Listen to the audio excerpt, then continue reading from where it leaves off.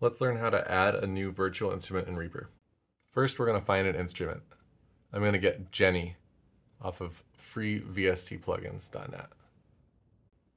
Find the version that's right for your machine. I'm on a 64-bit system. Find the download location and unzip it. Next, we're going to move the .dll into a file path of our choice. I just made this VST instruments folder on my desktop for now. Now we're going to move back over to Reaper, Options, Preferences. Scroll down and find VST. Choose Edit Path List, Add Path, and find the path you selected.